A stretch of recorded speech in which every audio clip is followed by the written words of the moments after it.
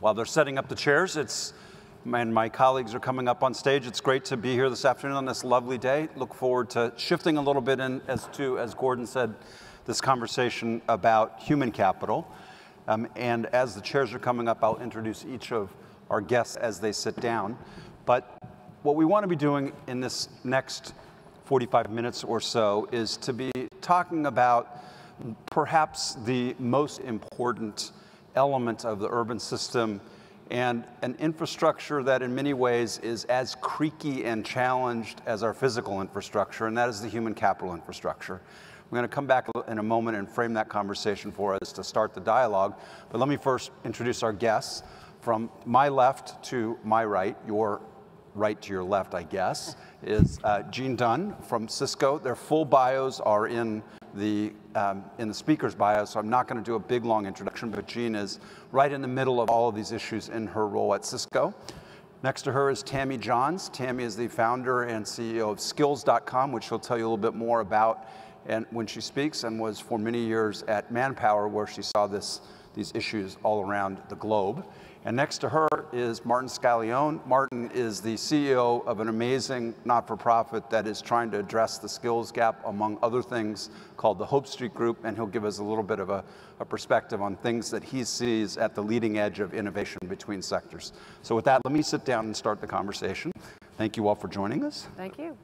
Um, so, as uh, Gordon said, this, what in some people think of as the soft infrastructure, is crucial to enabling all of the rest of infrastructure to work in our, in our cities and, and regions around the world. Uh, even in the United States, at a moment where it feels like we're in, in an important part of the recovery and, and unemployment levels are down in the 5% range, and in places like where we're sitting today, in San Francisco, it's under three. There still is a large number of people who are not connected to the workforce in the way they need to be, and there are a large number of employers who still have substantial gaps that they can't seem to fill no matter what they do. This is in an environment where the economy is good. What happens if it goes sideways again? Or should I say, when it goes sideways again? Mm-hmm. And what happens as we think about the world that is no longer predictable and the jobs that we're talking about today that we're having people heading through our educational systems and our workforce systems are going to be radically different in five to 10 years? What's going to happen to the traditional educational institutions, particularly our post-secondary and skills training institutions? What's going to happen to the role that employers play in thinking about what it is that they're looking for in potential workers and how do they signal that to the marketplace and to the institutions providing those skills? What role will technology and innovation play both in the technology itself and in the users of that technology, whether it's for-profit, not-for-profit institutions, businesses, education institutions. And importantly, what's the role of an individual in managing their own portfolio of skills and thinking about their, those assets as theirs that need to be investing, not just when you're before you enter the workforce for the first time, but throughout your life. So we're going to cover all of those in 40 minutes and have answers to each one of them, and you're going to come away crystal clear, I promise. so um, with that, let me, let me uh, start with, with Jeanne. And Jeanne, you're both a substantial employer. Yes. Um, you, you are at the cutting edge of how you attract and get some of the most in-demand talent around the world. And you're also in a, in a in a space where you're providing really interesting technology to this whole world. So let me just ask you, and from your, your vantage point, from what you see, um, you know, where, where's this going? What's the, what's the nature of the game that we're, we're talking about? Well, it's, it's, it's very interesting. You know, um, Cisco, as you all know, um, you know, the foundation for the internet and really enabled the internet to happen more than 25 years ago. And when you're in the middle of actually creating a new industry, you've got to take great responsibility for creating the talent pool for that industry.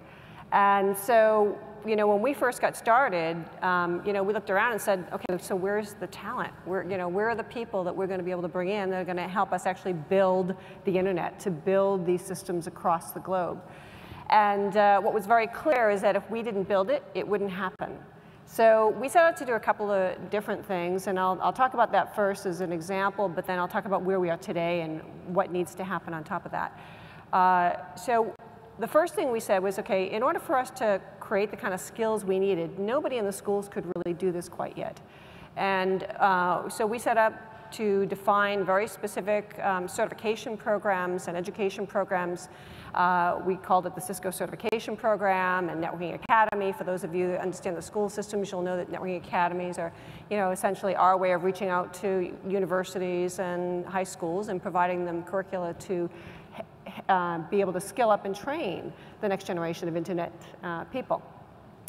And so we did that, you know, well over uh, 20 years ago, we started that journey, and the goal then was, you know, we need to create a number of people to set the, set the context and be able to fuel both our customer and our partner journey through this whole transition.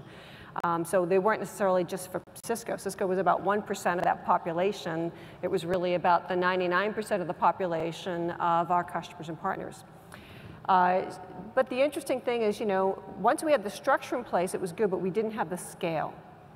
And so to build the scale, um, about 10 years ago, we decided to create what I guess has been written up now as the first social learning platform out there in the industry. And the goal of that was to um, be able to open up the gates, to remove the barriers of place, space, and time to education, and allow anyone into uh, these networking careers if they chose to do it. Of course, the other challenge for this is, uh, is telling people what is out there, telling them about these jobs, what they look like, getting them to connect with people that are in the industry that already know these things, and uh, being able to inspire them to, uh, to come forward and start their career in, in, in a new area, a new space. So now fast forward, uh, you know, now we've, we've um, you know, put that in high gear. Uh, we've generated um, two, two and a half uh, million people through this program. So we've been able to create, if you will, the workforce that is setting up the industry for the internet. And as I look forward into what's the next generation of the internet, the digital landscape, as businesses now need to uh, think about how they reinvent themselves, how cities need to connect in new and different ways and drive intelligent transportation systems and sustainable um, systems for, you know, for the planet. Um, we know that there's a huge shortage of skills once again. And it's going to be incredibly important for industry and cities and nonprofits to work together um, along with education to do this. Education alone will not solve this problem. We know this for sure. Yeah. We know this for sure. And um, the other big change that's going to happen, um, we're going to have to go from buyers of talent to builders of talent. Every organization is going to have to figure out how they're going to do this. And you can't do it alone. Um, so one of the things that we did, um, we started this year actually, was the IoT um, Talent Consortium, and that's something that um, I chair and um, we founded just about three months ago. And we invite all of you to take a look at this and see if you want to join. But essentially what we're doing is we're bringing together all industries that are in this new industrial internet, this new smart city um, forum, to be able to come forward, help us decide and look at what jobs need to be created in this new space, because I guarantee you there's at least 30 new jobs that are being created as we speak um, with new types of skills and we haven't seen before. And, and so to do this properly, we need to take an industry perspective and we need to be able to bring that intelligence back into the community and allow the world to come and meet that need. Um, so that is what we're doing right now. The uh, Internet of Things uh, will form and the, the talent consortium that was a natural result of that uh, is uh, our new level uh, of engaging the greater community into this effort because it's bigger than Cisco. It's, it is going to take industries from all over the place, educators from all over the place, cities, government uh, to participate, and of course educators at large. That's fantastic. It's wonderful to hear both the history of how you got engaged yeah. and how it's going to continue to need to be reinvented because technology is continuing to move and That's right. the jobs that are going to yeah. be. And the gaps are in the millions. We're not talking about small right. talent gaps. We're talking about million, per, just in cybersecurity alone, a million people are needed today. Mm -hmm. And we don't have that. And in order for infrastructure to connect securely, um, we need to have this kind of talent. Yeah. Fantastic. Okay, well, I'm going to come back to talk to you about how you get other businesses to do to think the way you're thinking. But um, so Tammy, um, you've been involved in this world for your entire career, Yep. and you're also an entrepreneur who who've thought about are there are there ways that technology and new ways of delivering can can work. By the way, I love the name Skills.com. Is that like the perfect name for a startup? So, why don't, tell us a little bit about how you think about this problem and what, what you think the opportunities are. Sure. So, um, as Lenny, you mentioned, I started Manpower Group 20 some years ago. Um, my career in this space, so really had the opportunity to look at very local labor markets and understand the skills challenge. Um, and then at the end of my career at Manpower Group, I was focused on how technology might change how people work, but also how they get skilled, um, which led me to skills.com. Because one of my, so skills.com, um, if you haven't seen it yet, it launched April 24th, and it is a platform, a community, and a mobile app that is focused on helping capture and build the world's practical skills and share them for free. So, what we're asking people, so what we fundamentally believe is that the knowledge and skills that are needed in the workplace today are in the workplace. People possess that knowledge. We just need to unlock the, the barriers that exist, be it cost barriers and time barriers, to make that knowledge available. So we ask people to um, film a five minute video about their skills and share them with the world. And the key thing that happens then is that people can you know, in a situation when they need to understand what's, you know, how to do something, how to solve a problem, they can access skills.com and immediately get some information. But the more interesting part of skills.com is it allows people to also learn and then film their own video and share their own and, and, and get feedback about the skills. So it doesn't fight with schools. As, as Jeanne, you said, schools can only do so much.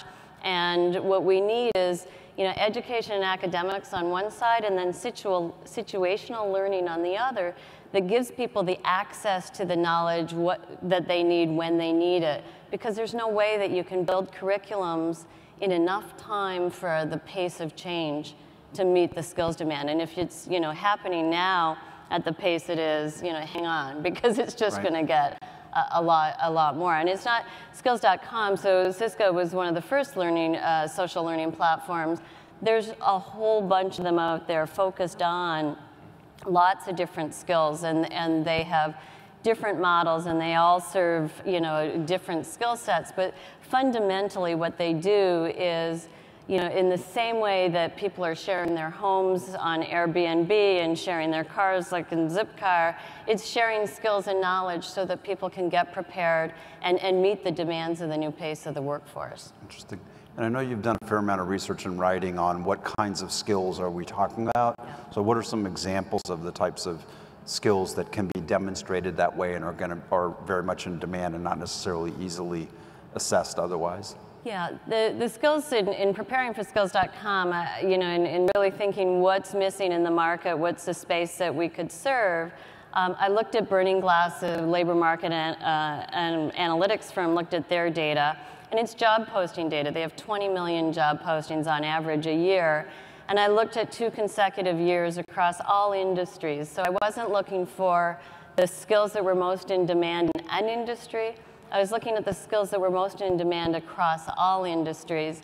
And in the skills that came up consistently, in 45%, so almost 10 million of those job postings, were communication, customer service, sales, organization, financial literacy, um, and, and technology skills, but not in the software development, and they are definitely in demand, but in the fix and repair. There's something new that came out. How do I learn how to do the next evolution of that? Hmm, that's great. Those don't sound like things that you get degrees in. exactly, exactly. And, and the, the interesting thing about those skills is that they're skills that are mastered. The more you present, the better you get at it. And, and so, by even being able to use technology and video based technology to learn how to do those things and to learn them from other people, you just get simply better at it. And, and the reality of the job situation today is that even non-technical jobs, we're, we're, we're assuming that about 50% of jobs are going to need a serious amount of technology literacy in how to use the tools to be able to actually just go to work and do your job. Absolutely. So, um, so it's really critical that you have some things out there that show people in a practical manner how to do that. Absolutely, absolutely. Great. So Martin, let me bring you into this conversation. So you're, first of all, I want you to explain what Hope Street Group is and what you're doing Yeah. more eloquently than I did. But more particularly, I want you to talk a little bit about how you see this ecosystem and what the, in, in some ways, the the market failure that's not working here as well as we might like. What's, what's going to be necessary to fix that? Yeah, thank you, Lenny.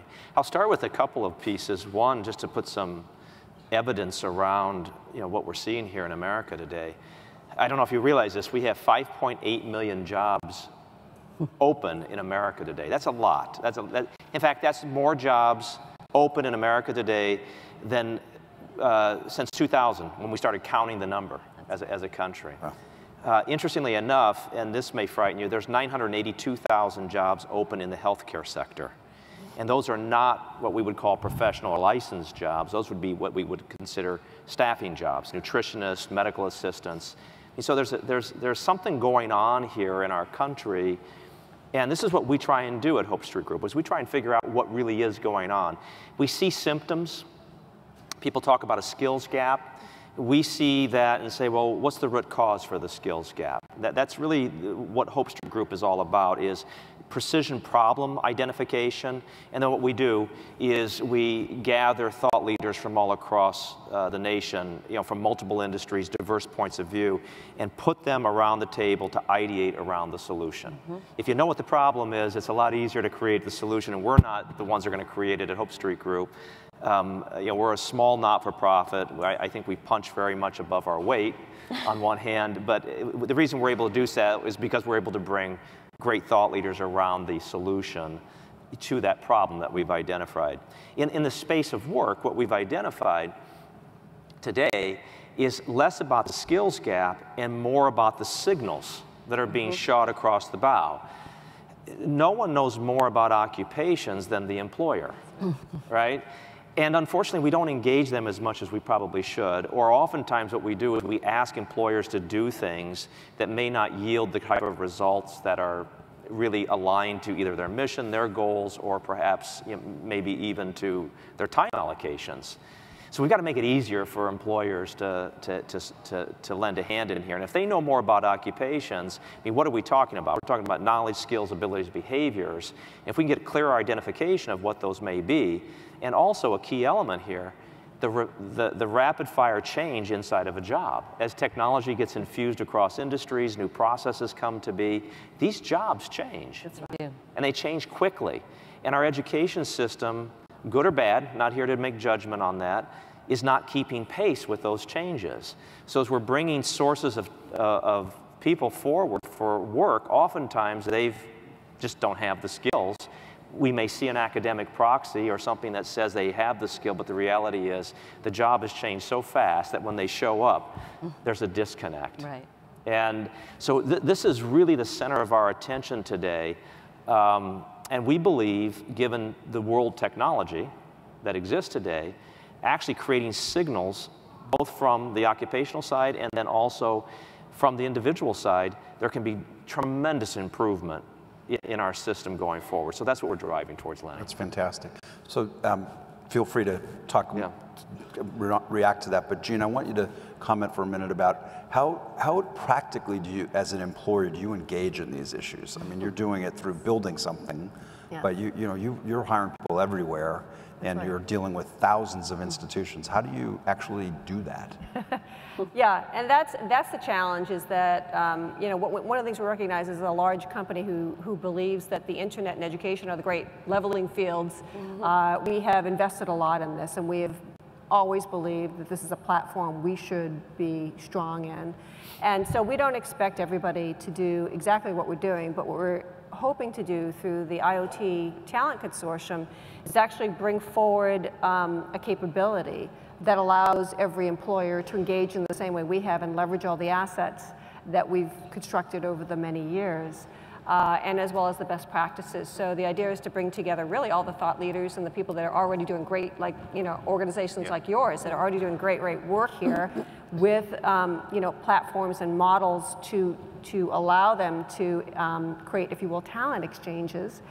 Um, by creating first and foremost the standards for the job. It all goes back to what employers need for the skills in the job today. And so that's exactly what the talent consortium is all about. It's actually creating those standards with the employers themselves. So that's why when we put this form together, we went after all the big employers, if you will, of the Internet of Things, um, in, whether it's in the industrial area or you know in cities. We're, we're essentially going after each and every one of these areas to get them to help us standardize on those jobs. Because there are two things that are happening in the Internet of Things. One is the Internet. The other thing is the process that already exists in that industry.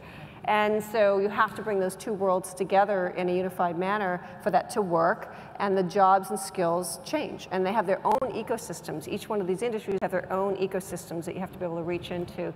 So by connecting these things together, uh, we feel that we are going to be able to create another million people uh, in, in this new space to try to deal with some of the cybersecurity talent that's missing, deal with some of the digital marketing skills that are missing, the data analyst skills that are missing, and many others that we feel are sort of the top trending uh, things of today. And of course, um, you know, most of that's going to come from outside of the school system. It's going to come from really um, the private sector uh, in many areas.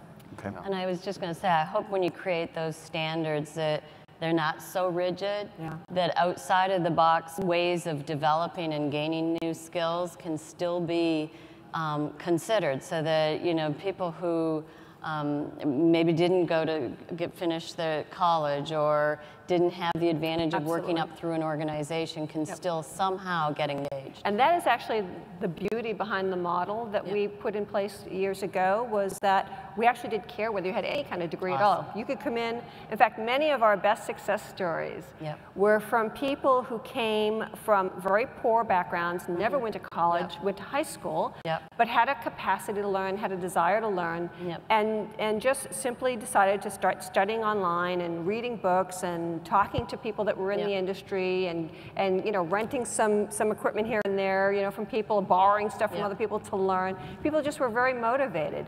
Um, so the only thing that we do is create the standard and we provide a lot of material that can be exposed in many different ways Yep. and many different sources.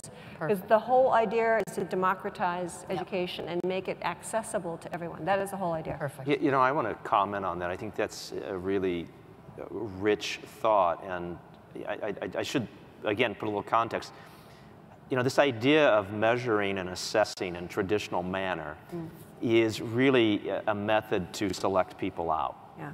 Uh, unfortunately, and that's happening. And we're in the midst of a consumer revolution in our country, right? We see it in multiple industries. We haven't quite seen that in the workforce, you know, where the individual actually is empowered to where they're now making informed decisions and choices about what they want to do with their career. If you went out to many people and just surveyed, and, you know, young people, transition workers, it doesn't matter, and asked them, what skills do you need to have the job you want? You would not get a good answer to that question. They, they don't know. Well, I think we have an obligation to make that more readily available. That's right. right? And so, in doing so, we're going to empower that dynamic that needs to occur. That's both good for the individual and both good for the occupation side. And you know, speaking of measurement, you know, setting aside the multiple choice bubble chart, you know, that we, that we see. And I know that because I, I, when I did my work at ACT, I know that quite well.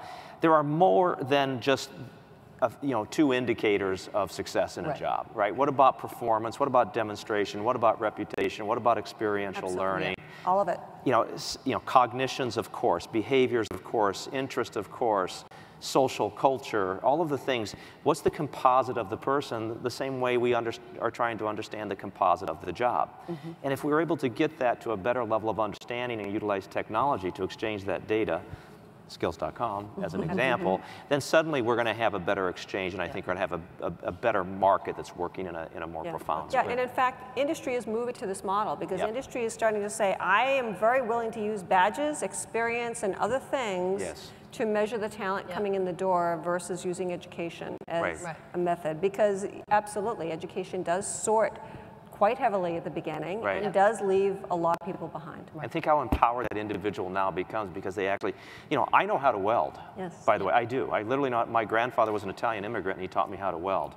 I don't have a certificate, but I can lay a bead, and I know how to read a blueprint. There's How- a huge demand for that I skill. It really is, right? And there's, There's a huge hope. demand. The thing about how many people do know how to weld and acquired that skill, but didn't go through the traditional settings, and have their certificate or credential to demonstrate that. Right. And, and it's true in many industries. That's right. And, and the best teaching, too, comes from, honestly, from experts, you know, to, Mm-hmm. to the cause that you're trying to represent here. One of the things that we found when we stood up Cisco Learning Network, which was our social site, Yeah. we stood it up with as much things to get it started. So we built it, we, you know, drew people to it, we recruited people into it because people didn't know what networking was all, all about.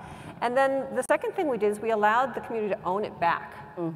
And once we did that, they right. started contributing all this really great information, this rich tutorials, Right. these, these study groups, all of these things that would help other people learn. And, and, the, and the interesting thing is communities do want to get back, particularly if they've had a successful experience through their own career Right. journey. So Right. yeah, so just providing places for people to collect this information and to congregate Right. and to share is, is a big step up.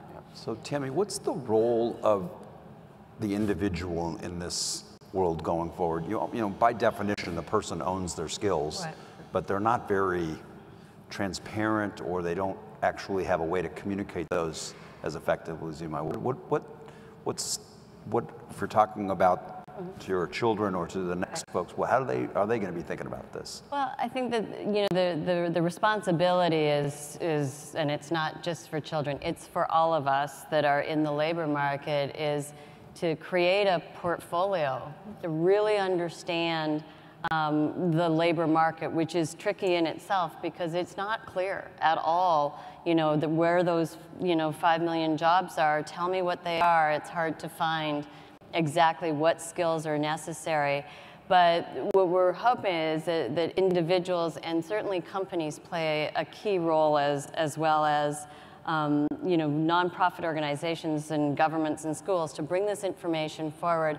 And then for people to understand that they own the responsibility of developing skills, to sit back and expect that your employer is going to do it for you or that you're going to ride on that you know four-year degree if you had a four-year degree that that's going to last you. It doesn't even last you any longer into the labor market. So really taking the responsibility of building skills but also what i'm really hoping um, is that people will take responsibilities as communities whether it be you know, a, an industry community or a city itself to say, I owe a responsibility to help people learn something new. And, and I would really challenge, especially cities, to say, what can I do to help people in my city learn? Yeah. As an employer, the reason why we are in certain cities and environments, we choose to those locations. Right. And we choose those locations based on whether or not we have access to talent. Right. Of course, there have to be other business, you know, um, friendly things going on, but at the end of the day, if we don't have access to talent, we can't even we can't even begin to consider putting a location there. So we're just about at the end of, my, of our time. I'd love to just give each of you the, the rapid fire, one final thought on this topic that you want to make sure the audience goes away with. And I'm going to let you go last. So we'll start down here, Martin. So you're, Yeah, a thought that went through my head. You know, technology has done a wonderful job of getting to identification of skills better than any other industry, and I don't know why. I, my, my conclusion is that I say I don't know why, but I, I think it's because they weren't burdened by the legacies of some of the historical industries like manufacturing, where I grew up, where we kind of said this is the way it has to be. And it would seem to me that we need to break out of this cycle that exists in these other industries uh, whether it be health, manufacturing, logistics, et cetera, in terms of these traditional ways of selecting and hiring and sourcing talent. It's time to bust away from that and maybe use the technology industry as a model for how it might be done differently. okay, bust out of the hiring models. Yep, yep, Okay. yep. Tammy? Um, I, I would say, you know, really, I, I would, it's not just technology, even though I have represented kind of a technology platform and approach, is what can each one of us do to help somebody learn, it, especially people who are in the first decade of their career, because they do not have the advantage that many of us had, which was mentorship and help throughout our career. So really pause when you see that person who looks scared and doesn't have the skills and is maybe afraid to ask what you just asked them to do.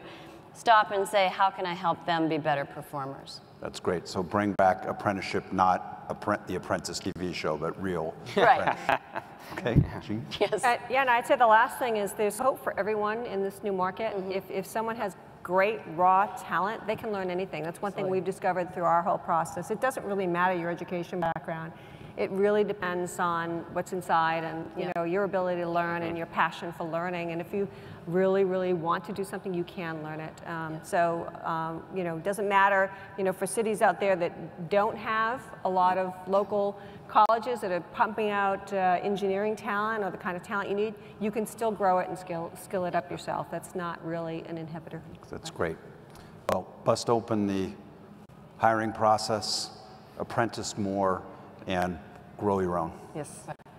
Great. Well, please join me in thanking our panel for an interesting conversation. Thank you very much, Jeanne, Tammy, and Mark.